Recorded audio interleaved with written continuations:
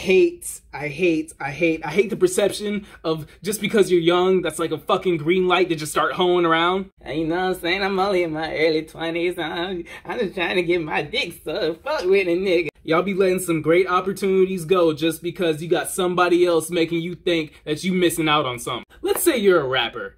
Let's say you've been on SoundCloud for like two years and you have like 12 monthly listeners. And somehow, some way, fucking J. Cole finds your shit and he's like blown away and wants to sign you. Now, are you gonna sign that deal or are you gonna be like, oh, well, at the at the young ripe age of 22 i'm just not sure if i can commit to something that's going to be long-term beneficial for me i'm not saying go marry your partner or whoever you with like right now all i'm saying is if you got something for you that's dead in your face and you know it's great for you don't just go throw it the fuck away just because you you young and you want to have fun